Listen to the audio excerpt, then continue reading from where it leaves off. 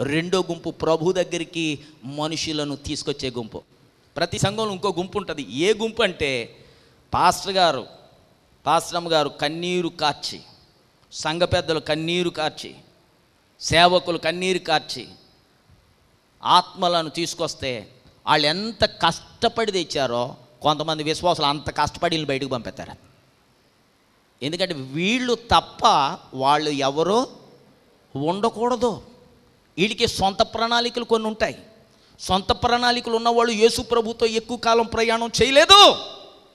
నాతో కూడా చాలామంది సేవకులు ఎక్కువ కాలం లేరు. ఎందుకంటే పైకి మాత్రమే వారు నాతో ఉన్నారు. వాళ్ళ అంతరంగం నాకు దూరంగా ఉంది. నీ పరిస్థితి అంతేనేమో ఒకవేళ నువ్వు పైకి మాత్రమే క్రైస్తవుడిగా ఉన్నావు ప్రభువుకి నువ్వు దూరంగా ఉన్నావేమో. కొంతమంది క్రైస్తవులు పనిగట్టుకుని వచ్చిన వాళ్ళందరినీ ఏదో నేను కొంచెం పల్లెటూరు కదా పల్లెటూరు నుంచి వచ్చాను కదా కొంచెం భాష తేడాగా ఉంటుంది. కొన్ని లింకులు అంటారో కొన్ని లంకులు అంటారో నాకు తెలియదు కానీ కొంతమంది లింకులు లంకిలు పెట్టి క్రైస్తవుల్ని ఆరాధనకు రాకుండా చెడగొట్టేస్తూ ఉంటారు. సంఘానికి రాకుండా చెడగొట్టేస్తూ ఉంటారు.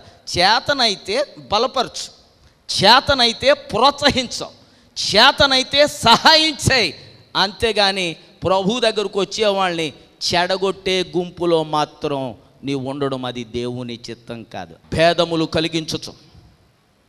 దేవుని యొక్క పరిచర్యకు ఇబ్బంది నువ్వు కలిగిస్తున్నావంటే రోమపత్రికలు రెండవ అధ్యాయంలో ఉంది. ఏమంటాడో తెలుసా? దుర్నీతి వలన భేదాలు కలిగించే వారి మీదకు దేవుని యొక్క ఉగ్రత వస్తుంది అని అంటాడు. జాగ్రత్త సుమా.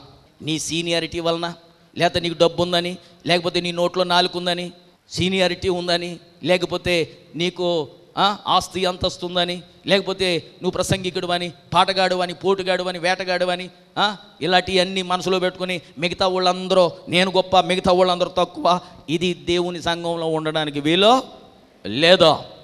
రాక్ సంఘంలో చాలామంది ఉంటారు. ఎవరి ప్రణాళికలు ఇక్కడ పనిచేయు ఏసయ్య దర్శనానికి మాత్రమే. ఆయన సీనియర్ పాస్టర్ మనం జూనియర్స్ అందరం అంతే ఇక్కడ. చప్పలు కొట్టండి